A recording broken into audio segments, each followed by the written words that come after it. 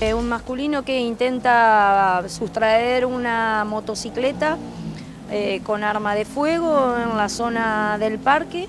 Se recepciona el llamado telefónico de manera rápida desde el 911, se activan los mecanismos de, cerrojo y operativos para estos casos, lográndose la detención de las dos personas que habían hecho este ilícito, sin llevarse en este caso la moto, sino otras pertenencias de, de las personas y bueno, se logra la detención de, los mismos, el secuestro del arma de fuego y el recupero de la totalidad de las pertenencias que se habían sustraído.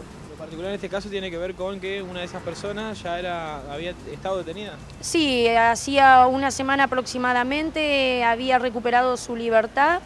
Eh, hace más o menos un mes atrás la patrulla del 911 también lo había detenido en esta ocasión como autor de un robo calificado en un local de Avenida Larramendi, en una carnicería más propiamente dicha, junto a dos menores. También en esta oportunidad se había secuestrado un arma de fuego. Bueno, en este caso nuevamente reincidente el masculino.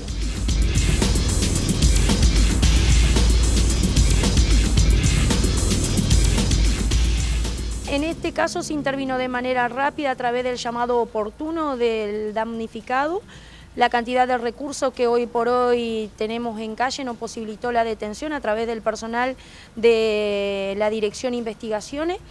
Eh, bueno, y asimismo un monitoreo en cuanto después la, la ubicación de, los masculinos cuando se dan a la, se dan a la fuga.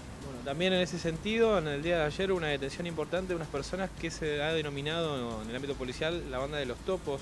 ¿De qué manera actuaban y cómo se los eh, identificó? Bueno, esto llamó la atención porque estaban trabajando, tenían abiertas unas boca calle, unas bocas de tormenta, en la zona de calle Uruguay y Misiones. Le llamó la atención al a los funcionarios policiales que se encontraban de recorrida prevencional en este caso la motopatrulla del 911. Bueno, cuando se lo va a identificar, se le encontró una gran cantidad de herramientas que tenían dentro de la boca calle y bueno, al ser identificado efectivamente se constató que tenían antecedentes policiales, se movilizaban en un vehículo, por lo tanto presumimos que estaban o por cometer o preparando eh, el lugar para la comisión de un hecho importante. Bien, ¿Tendría que ver con la conexión del lugar con algún lugar o con el robo de cableado? Sí, todo esto se va a determinar eh, posteriormente con los datos que arrojen la investigación.